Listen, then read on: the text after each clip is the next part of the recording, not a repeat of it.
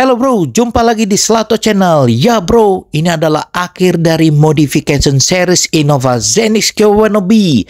Karena Innova Zenix Kyowanobi ini sudah dikirimkan melalui ekspedisi. Dan ini kita lihat ya bro, mobilnya masuk ke dalam kontainer untuk diserahkan kepada pemiliknya yang berada di Indonesia Timur. Kami mengucapkan banyak terima kasih kepada rumah-rumah modifikasi yang telah memodifikasi Innova Zenix Kyowanobi ini. Yang pertama adalah Begja Autotronic di mana di sini kami memasang peredam dan juga pasang audio dan serta upgrade audio. Yang kedua adalah Auto Project di sini kami memasang 15 jenis aksesoris Auto Project khusus Innova Zenix. Yang ketiga adalah Shane Auto yang berada di MGK Kemayoran di lantai 8. Kami di sini memasang LED DRL dan juga memasang fog lamp bilet projector dan kita upgrade headlampnya dengan memasang triple projector dari Hyperion. Dan yang keempat adalah kami melakukan pemasangan kamera 360 karena di Nova Zenix tipe V Hybrid tidak ada kamera 360. Yang kelima, ke Ferrari jok Cibubur untuk melakukan backlight terhadap jok dengan menggunakan bahan Vision Napa Levante.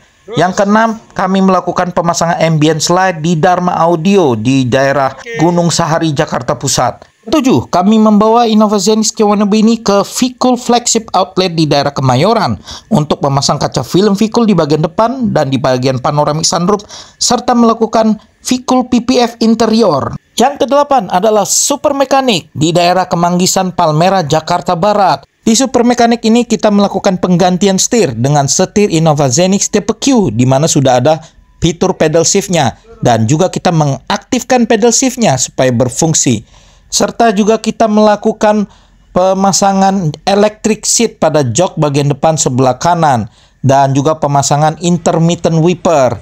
Serta the first in Indonesia Innova Zenix V Hybrid memasang cruise control dan itu cruise control pertama yang terpasang di Indonesia ini. Yang kesembilan, kita memasang filter udara Racing Data Tech.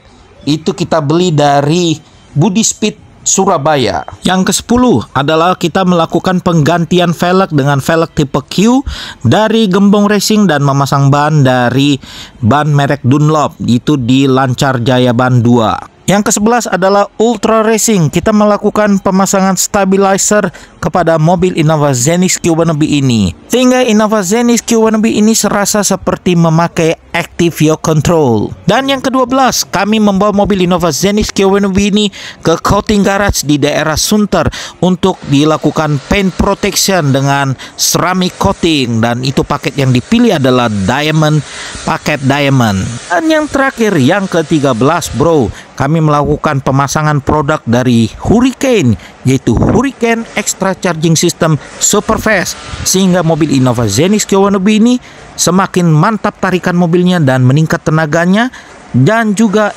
semakin irit bahan bakar dan juga hasil sinar lampu semakin terang. Jadi bro, modifikasi mobil ini lebih kepada manfaat ke, seperti utilitas, kenyamanan dan juga serta performance ya bro.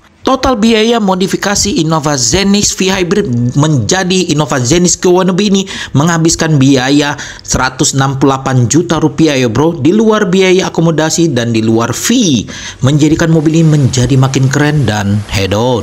Anda tertarik untuk memodifikasi mobil Anda dan ingin diliput? Ya, Anda dapat memilih layanan kami dari Selato Channel, di mana kami akan mengarahkan Anda memodifikasi mobil Anda di tempat-tempat modifikasi yang terbaik, dan kami akan meliput dan menayangkan hasil modifikasi Anda di Selato Channel. Bagaimana menurut Anda, bro? Oke, itu saja bro, modification series Innova Zenix Kyowanobi ini yang sudah berakhir.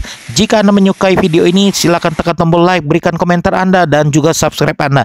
Dan nyalakan lonceng notifikasinya. See you bro in the next video. Mantap bro!